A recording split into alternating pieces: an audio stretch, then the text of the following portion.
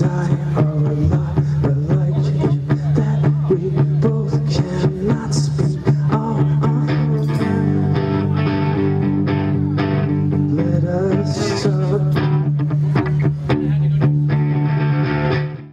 All weekend long, we saw some excellent entertainment.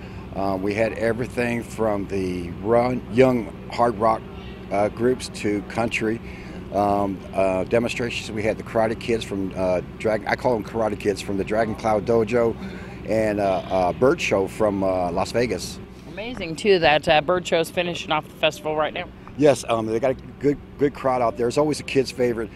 Uh, the parrots, birds, or whatever they're called, are doing a lot of tricks out there. Flameology came out too as well. Oh, Flameology, I can't forget them. Another big one. They were huge last year. Um, drew a huge crowd again this year and did their fire dances. A wide array of different types of bands as well. A lot of people out on the dance floor, different times, and uh, really spread out as well. You also had some shade out here, which really kept the crowds. Yeah, we brought in some shade to cover some of the bleachers, and and uh, on the other side we uh, put the bleachers closer to the trees, which drew shade um, later in the and later in the day, um, and that helped bring the crowd out also. Yeah, we, we contracted Bogus Productions out of Las Vegas for stage and sound, as you said, and a crew. Um, there's special other special people that, that assisted throughout the whole process. A lot of uh, local bands, but bands from other areas too as well.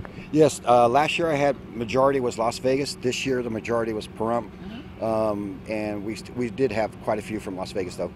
Amazing uh, uh, performance all through the weekend, starting on Thursday night and lasting all the way to Sunday, even well into the evening hours well into the evening hours. In fact, last night on Target Band closed up closed up the festival. Um, if, if I was if I didn't have uh, contract workers from uh, Las Vegas, we would probably went to 2 p 2 a.m.